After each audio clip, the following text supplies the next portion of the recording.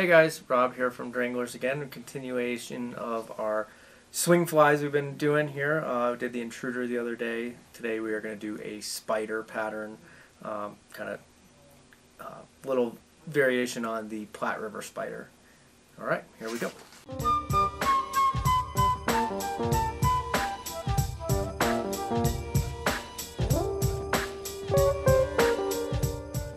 All right, uh, we're going to start with uh, you know $200 style uh, 1270 Daiichi, you know 3x long curved hook, uh, and like this is a number four. You can also use a traditional, you know, up eye salmon steelhead hook if you like, um, but for trout fishing these work just fine. Uh, we're going to start on the very, you know, front part of third of the hook.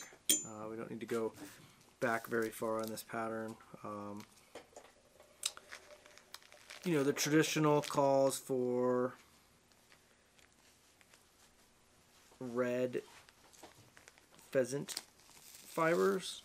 I've been using this, uh, just some red ripple ice fiber. Seems to, you know, a little bit of flash, but not too flashy. I like ripple ice fiber a lot, so it has a cool look in the water. So we'll tie just a little bit of that on there. You know, just a little longer than the hook shank. Is perfect. Next, we're going to tie in our marabou. And we're going to tip tie it in just like we did for on our intruder pattern. And because we are going to palmer it. Same thing, want to make sure you pick out a good piece of marabou. Has some nice long, fairly slender fibers. And we're going to do two colors. We're going to do a you know, traditional color here of the Platte River spider, which is brown and yellow. Kind of looks like a baby brown trout. So a couple wraps there. Cut the tip out. Then we're going to take our yellow. Cut the tip out. So now we have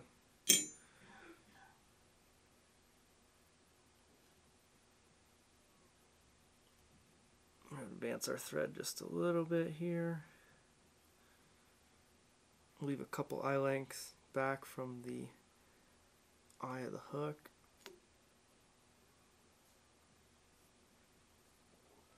Kind of try to get these fibers to all line up.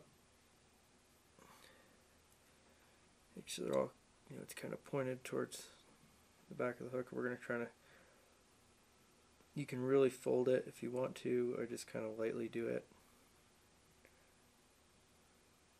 as we're going. We're going to fold, make sure all the turns happen. Pull it back as we go, one's in front.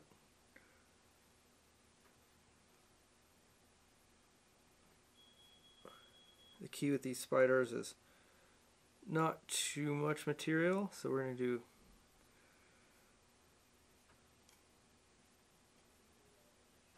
three turns on this one will be plenty.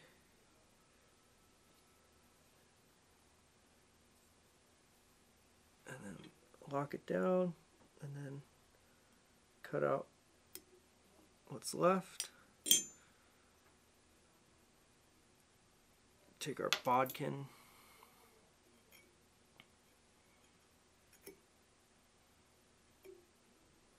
trapped quite a few fibers on this one, but so we'll use our bodkin to kind of pick those out of there.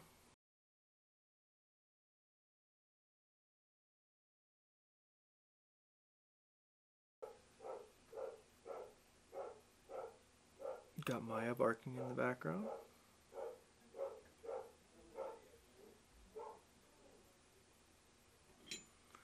Kind of just clean up where we trimmed off here. Okay, good. Now we're just going to take a piece of crystal flash, tie it in kind of the top just to one side here.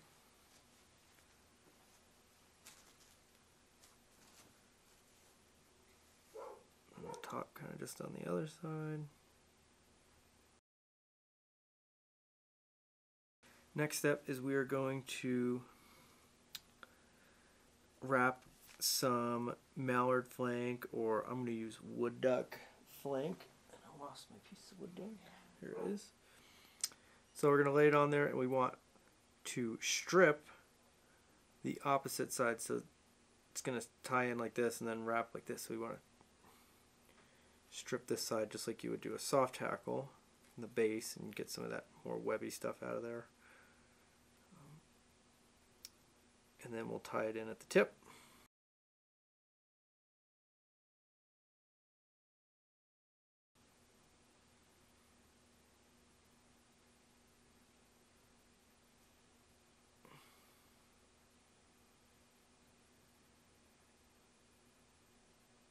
But if you don't keep it from spinning, what will happen is the fibers won't lay in there nice and flat.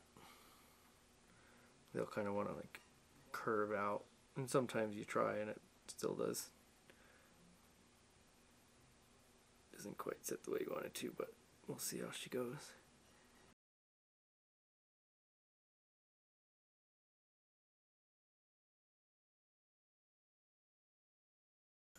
And then we're going to use our bodkin to kind of, those are webby fibers and they're kind of stuck together, so pick them apart to make sure that they all the way around the hook shank.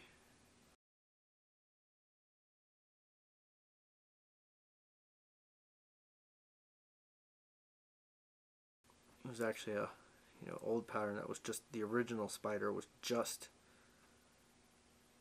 mallard flank wrapped around the shank of the hook.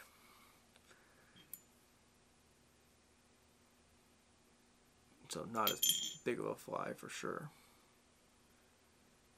but a cool old, old school wet fly. It's just the old mallard spider. And to finish off, we are just going to tie in the couple of hackle tips on the top. The traditional pattern Platte River spiders tied with furnace dyed yellow we're going to do furnace dyed red because I like that a little bit extra pop in there.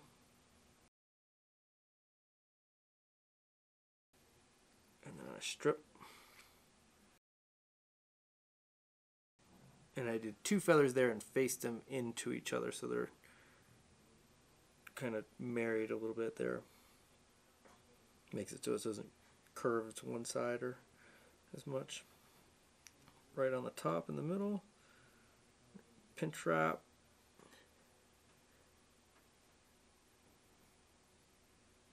Make sure it kind of stays in place there, which it does.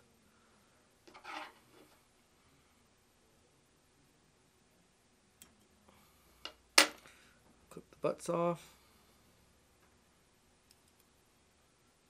And then whip finish. can definitely, well, traditionally most people lacquer the heads on these. Um, especially like uh, with a higher gloss. This is just olive thread, but most people do like a high gloss over a black thread. Looks really nice. Very traditional. Um, just a couple little whip finishes there. Flip it off close. And there's your spider. All done.